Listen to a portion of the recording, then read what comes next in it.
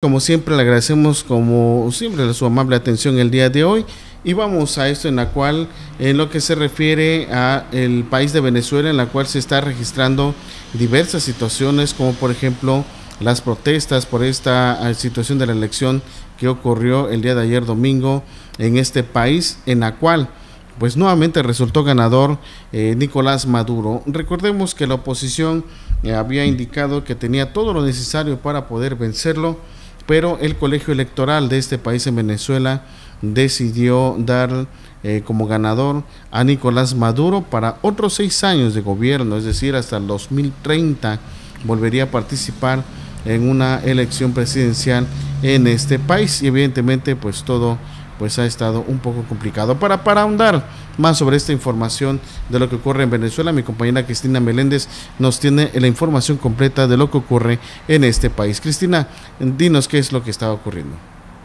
¿Qué tal, Abraham? Muy buenas noches. Pues el día de hoy salimos a las calles de diferentes puntos aquí del estado de Chiapas donde eh, platicamos con migrantes venezolanos para que saber la postura que tienen respecto al triunfo que los venezolanos consideran ilegítimo, ilegítimo de Nicolás Maduro. Esto fue lo que nos comentaron y les preparamos esta pieza.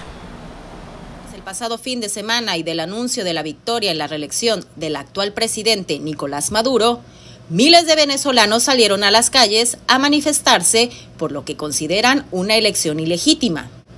En tanto, los migrantes venezolanos que se encuentran en territorio mexicano comparten su desacuerdo y decepción ante lo que ellos llaman es un sabotaje a la democracia, que permitirá al actual régimen de Maduro aferrarse al poder, situación que ha llevado en decadencia al país por 11 años. Nada, que hicieron trampa. ¿Hicieron trampa? Sí, obvio, eso es lo que pasa siempre allá en el gobierno. Eh, no, eso ya está comprado y pues en las elecciones siempre gana el que más dinero tiene y es el gobierno piensa regresar a Venezuela? No, ya no. No. ¿Por qué?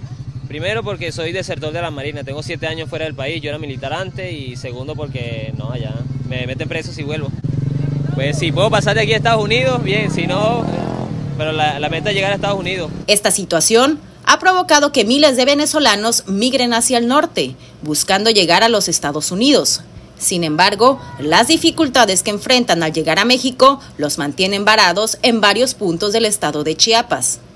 Ante diferentes posturas, un tercio de los venezolanos habían señalado que de ganar nuevamente las elecciones Nicolás Maduro, abandonarían el país, pues para ellos, vivir en la Venezuela ahogada en las manos del régimen es imposible.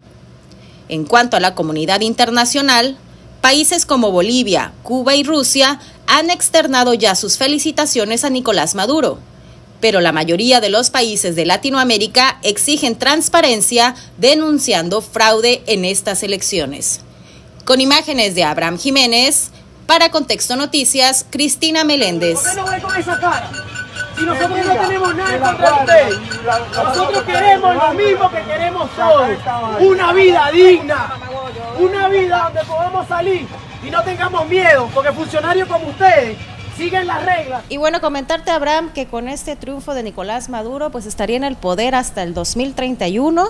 Ya ahorita, en últimas horas, eh, nos acabamos de enterar que los países que están pidiendo que se haga un recuento de votos, sobre todo países de Latinoamérica como Argentina, como Ecuador, todos estos países, al menos son nueve de Latinoamérica, que están pidiendo el recuento de votos de estas elecciones por considerar, considerarlas fraudulentas, pues ya el gobierno de Venezuela, el gobierno de Nicolás Maduro, pues ya les está pidiendo al personal de la embajada a romper relaciones este, con las embajadas de estos mismos países.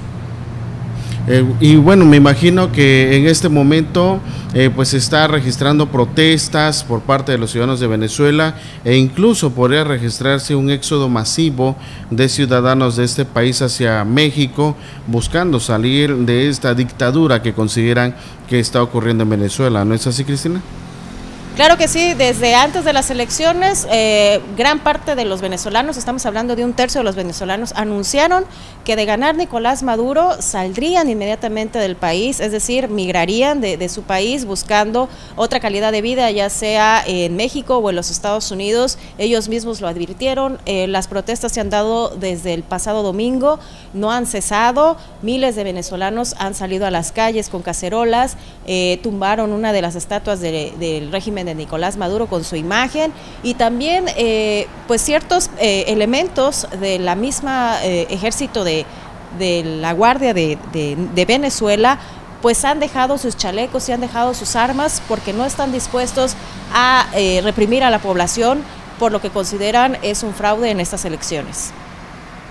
Muy bien, Cristina, muchísimas gracias por esta información. Agradecemos como siempre tu puntual nota y reporte sobre lo que está ocurriendo en Venezuela. Vamos a estar contigo para darle seguimiento.